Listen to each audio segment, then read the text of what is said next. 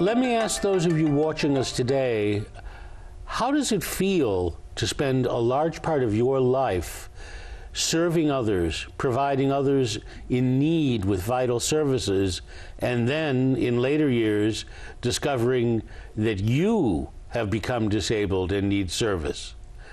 How does it feel to know at an early age that you're gay, but be growing up in a small, very deeply conservative town in Missouri?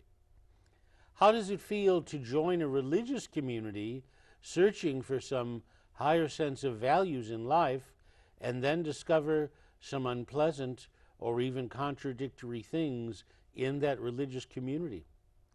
These are some of the questions we're going to explore today with my guest, Ed Young. Ed, thank you for being with us today. It's my pleasure. How did that feel living in a town where the social segregation was fairly strong? It was um, an interesting experience of not fitting in. So, at an early age, you were what we sometimes call a marginal man? I think, yes. Mm-hmm. In, in school, I felt that I was um, not really accepted as a Catholic. And if I went into the eastern part of the county, the first question I would be asked, or the first statement to me would be, You're a Catholic, right? So it felt a little bit as if you were neither fish nor fowl? Right. At first, I, I escaped to college. Uh, as soon as I graduated from high school, it was, okay, sign this, sign this diploma, I'm out of here. Um, and I went to Missouri U uh, at Columbia, which also at that time we had to have permission from our pastor to go to a school that was a college that was not Catholic. Mm-hmm. And did you stay at Missouri U for four years? No, I, I stayed there for one year because basically what I ran into was not something I expected, and that was the um, um, social shock of being in a school where there were so many different values from the society that I grew up in. Um, there was a commonality in the fact that the, um, the campus was uh, very homophobic. Uh, there was a young man who was found to be gay and was beaten to death while I was there.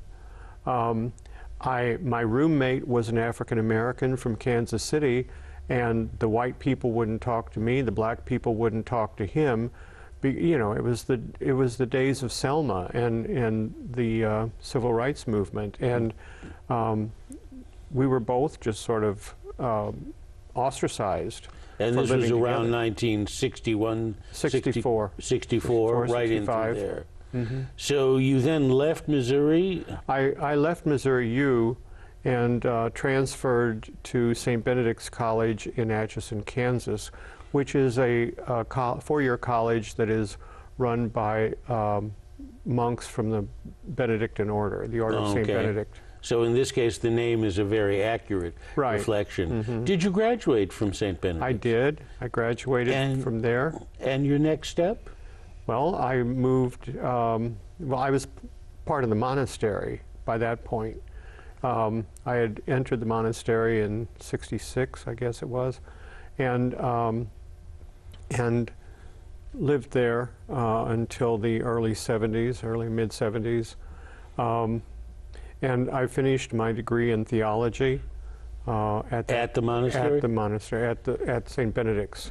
It was called then. Now it's called Benedictine College. Now, for those who are not familiar with various categories within the Roman Catholic world, did this mean that you were in effect becoming a priest? No, I was. Uh, I never wanted to be a priest. I did want to be a monk. And there is a difference, a subtle difference. The, the difference being? The difference being that everybody who was a monk in the monastery was that, a monk. They live, wanted to live a monastic life, live according to the Benedictine rule, but some of them would choose to be ordained priests so that they could say Mass and administer sacraments and those kinds of things, uh, which they did. The problem is that over the centuries, um, the uh, the ones who were considered the real monks, if you want, um, were supported by canon law in the sense that they took solemn vows and they couldn't um, couldn't inher- inherit property or own anything, you know, that kind of thing. Uh, they're developed over the years a two-tiered system, so there were pre- monks who were priests, and they were higher up. The um, other group of monks who were not ordained were considered sort of a lower caste. And that was disturbing to me. And that did not sit well with you, clearly. No, it didn't. And, and also, um, eventually, Rome got the idea that maybe what should be uh, instituted was, or reinstituted, was the, the role of choir monk, which was what Rome called it, which meant that um, you could be not ordained, but still have solemn vows. Solemn vows let you vote for things in the community, like who's going to be the next abbot and that kind of thing. If you didn't have solemn vows, you had no vote. So you did take the solemn vows? No, I had gone up to the point where I was uh, finishing my temporary vows and I was wanting to take solemn vows, but um, the abbot decided that I had no future in the community and he um, kindly asked me to leave. After you had been there how long? Six, seven years, eight Six years. or seven whatever. years. And he then, what, gave you a 30 days? No, he gave me till that afternoon. so he gave you one day to leave. Eh, A couple hours. Now, was he aware that you were gay? Yes, hmm I was. I was upfront about that. You know, I could be gay and be celibate, which was what was required, or I could be straight and be celibate. The idea was being celibate, and so um, it didn't matter to me if you know. I knew that that was part of the life, and um, but the homophobia, you know, the fear, was um, something that I I found confusing. At So you found a real homophobia in the monastery? right? hmm Despite the fact that those in the monastery were supposed to be leading a life of contemplation, prayer, and equality. Well, that's the uh, I think the public image. The fact is, we ran a four-year college, and uh, most of the most of the monks who were involved in the college were just like any other group of professors. You know, um, the egos ran high. So when you left the monastery, what was your next step? I um, I moved eventually to Kansas City, and got a job in a law firm as a records clerk. I worked there for a year or so and was asked to be a paralegal. I worked in antitrust legislation or litigation rather, and um, and then I was feeling again this idea of or this sense of being a second class citizen because I was not an attorney. And uh, so I thought, well, I'll prove you all wrong. I'll go to law school. And you did? And I did. And I graduated in, what was it, 79, 80, I guess it was. From what 79. law school? University of Missouri at Kansas City. Okay. And took the bar, passed the bar the first time. And then I began working as a staff attorney at Mid America Regional Council, which was the regional planning commission for the Kansas City area. And you stayed there how long? I stayed there until um, our friend Mr. Reagan cut our budget, slashed the budget. And so it was in the early 80s um, that I was let go, along with others who were higher paid folks in the agency. Well, eventually, I, um, uh, a friend of mine called me with whom I had worked uh, at the Planning Commission, and he was involved in a um, uh, financial planning organization, and he asked me if I wanted to come to work with them, and I did. And I worked at that for about five years or so, became a regional vice president, yada, yada, um, and um, was um uh, pretty violently mugged one night on the way home from an appointment and um, became pretty much um, unable to to go out. Um, and my income depended on my being able to go out, you know. So, how did you deal So- with that dilemma? Well, I, I called my parents and I told them what had happened, and uh, I asked them if they if I could move home, and I called them because I wasn't sure at that point that they wanted me to come home because I had always felt that because they knew I was gay too, and um, I always felt like I was an embarrassment to them. What I found out later in life, uh, before my mother passed away, she and I had a long talk, and and uh, she said to me that there was only one thing she had ever wanted for me, and that was that I be happy. And if it hadn't been for my Buddhist practice by that point, um, I would have thought she was lying to me. But I realized that she was telling me the truth. Her understanding of what an older gay man's life would be like was a pretty miserable pic- picture. And she didn't want that for me. And, um, but when she said, I want you to be happy, um, what, what my first thought was, was, you know, that's the message of the Buddha, uh, that we be happy. By this point, you had already moved into being a Buddhist. Right, I had. And, and that journey began um, really basically when I was in the monastery. Because of some alienation you began to feel from Roman Catholicism? No, it wasn't alienation at all at that point. It was more um, a sense of seeking um, and finding in some mystics in their writings, uh, Christian mystics, especially the Rhineland mystics. Um, one of them had said at one point that um, in every human being, there is a place where God knows us better than we know ourselves. And at that place, God and the person are one. And I thought that makes a lot of sense to me. Um, that struck a chord with that you. struck a chord. and the other was uh, um my favorite Christian theologian, Teilhard de Chardin, who was a French Jesuit and an anthropologist. And he studied the development of consciousness, of the brain, basically. Um, and he had a theory of uh, that, that said the more complex an organism becomes, uh, let me go back, there was consciousness in everything, which made a lot of sense to me. But the more complex an organism became, the more obvious that consciousness could be measured, or could be seen or experienced. And he said what made human mind was when the mind developed to a point where it could be reflective and say, I. And at that point, we could see ourselves outside of relationship with all of nature, with other people. And that outside of relationship business for him was what he called sin. And that made a lot of sense to me too. You know, it wasn't you're going to hell for this reason or that reason or something else, you know, which to me was all a control mechanism and um, never made any sense at all.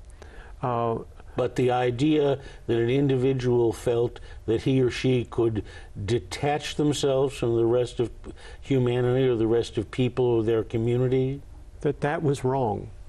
Because, in fact, it was more um, a sense of, I don't want to say wrong, because that implies um, a morality kind of judgment. It was an illusion. Because, in fact, we really are connected. We're all from the same stardust, if you want, you know. Um, and there is a connection that we have with each other. I mean, even that idea that the Christian mystics talked about, about this place uh, where God knows us better than we know ourselves, I have that, you have that. If we both have it, then we're both one. I see. But the place to which you went, in addition to spiritually moving into Buddhism, you geographically went back to Perryville. I did move back to Perryville. And how long did you stay there? I stayed there for five years. And I think the major thing that I experienced when I was back there was the fact that um, I felt appreciated by my parents. Um, my, my father more than my mom. Mom, mom and I had a rough, a rough time um, because she always feared that I was going to go to hell. Um, and, uh, and at that time, I really thought that I was her major embarrassment. She once called and told me I was going to adopt a uh, young mulatto kid who was in foster care. And um, she said, I lived in Kansas City at the time, and she said, Well, if you adopt, it'll get into the papers in Kansas City, and other people who live in Perryville who are from Perryville rather and who live in Kansas City will find out that you're gay. And if it gets back to Perryville, it'll ruin your father's business. My father was an undertaker. You know, what is everybody going to drop dead? That sounds good for business, you know? So I never did understand her logic. After five years in Perryville, you left? I left Perryville. I had, by this point, um, made some friends with the uh, priests who manned the parish the Catholic parish in my hometown, um, Vincentians, Congregation of the Mission, uh, their their official title, and um, they're the same group that uh, founded DePaul University, um, and they had been in Perryville since uh, the early 1800s, from 1816, in fact. Uh, next year is the 200th anniversary of their of their being in this country, and um, um, they, I never really felt comfortable about around them as a kid, but the guys who were in the parish at this point, in when I moved back to Perryville, were a good bunch of people, and um, they said, "Why don't you come and uh, be a part of of our community?" So I did. I I joined the Vincentians. I spent a year in St. Louis setting up an AIDS hospice. I um, spent some time in Philadelphia and Brooklyn, and then moved to Denver to complete uh, or to work on a, a, master's in Hebrew Scripture. What were you doing in Brooklyn? Oh, I, I, worked at a at the old campus of St. John's University down in Brooklyn, and uh, it was a tremendous experience of, uh, you know, direct connection with the poor which is what um, Vincent de Paul, who founded that order, um, was known for. So you worked, helped to set up and administer an AIDS hospice. Then you worked with the poor in Brooklyn. Mm-hmm. Okay. And after that? After that, it was back to school, you know, working uh, at the seminary in Denver um, on my master's. For how uh, long? Uh, that was just a year because it was the final year that the that the seminary was open. The, and after that? And then I moved here to Chicago. I was uh, first at 92nd and South Exchange, but that's where I was living. But going to school at CTU, Catholic Theological Union in Hyde Park, fabulous school. And after you finished there? After I finished there, I left the Vincentians because I had run into uh, homophobia and all that kind of stuff again. It was like, again. I've had enough of this. So what did you do next? You know? So I worked with uh, the homeless up in Uptown, and um, and then I worked. Uh, I was offered an opportunity to, to, go to DePaul and work there. And um, I worked initially with in a program that uh, at St. Joseph's Hospital um, which was a hospital founded by the Daughters of Charity, the sister organization with the Congregation of the Mission. Um, I worked there, and this program was for uh, young men who had had an, an, incarceration history and were given uh, practical work in the hospital uh, to prepare them for work outside. After that program at St. Joseph's closed, I worked um, under a grant from the Centers for Disease Control uh, and uh, teaching cognitive skills development. And um, uh, that again was with non-traditional students, but based at the at the university um, with young men and women who had had an incarceration history or a drug problem. So again, you were serving those who had special needs. right. Okay. But at some point, I understand you began to develop some special needs of your own. When did your medical problems hit you? Um, those had been developing since 1980, and I didn't know it. Uh, I was totally unaware of the fact that my liver was going south. Then how and when did you learn that that was the case? Well, it, w- it wasn't until um, uh, late in 2013 I started um, gaining all kinds of weight. I was really uncomfortable. Um, I went to the hospital. They were doing paracentesis procedures to draw excess fluids out of my stomach cavity, and and um, I was just miserable. Then by February of 2014, I fell and um, uh, knocked myself out on the way down. And so um, I ended up in the hospital again at St. Francis in Evanston, and um, I had uh, developed a rhabdomyostasis, uh, which is a sort of a disintegration of the muscles in my legs, which is why my legs gave out. And um, eventually, I, things just kept getting worse. Um, my my doctor uh, said that um, the tests that they had run when I was in the hospital showed that my liver was only operational at 15 percent. What in the world came after that? Well, um, he referred me to the wonderful people at the transplant clinic at Northwestern. And uh, in my first meeting with them, they put me directly in the hospital. That was in May of 2014. And four and a half months later, I had a new liver and a new kidney. And was that surgery successful? Yes. mhm. Okay. But all of this medical care, what did that do to your financial situation? It uh, eliminated it. It uh, eliminated any kind of uh, um, resources that I had. Your savings were soon gone. Yeah, they were they were gone even before all the medical stuff started because I had been unemployed for a period of three years, and I was, um, you know, sort of. How in the world did you cope with this? Well, my Buddhist practice helps me with that. Um, we have a sense that um, the Buddha taught that that everybody has to deal with birth, suffering, old age, and death. Okay, so um, I've had the birth part, I've had the suffering part, I've had the uh, old age, or I'm having the old age stuff. So the only thing I have to uh, deal with when that comes along, which is no big deal, is death. Because I see, I keep telling people I'll come back. You know, I don't have to worry about that. Um, but um, the anything that happens in our lives, any obstacle that we uh, that we run into, we have a, an ability to take a look at that and see it as it really is. What what do the obstacles that that come to us really mean? They're an opportunity to grow. Every one of them is an opportunity to grow.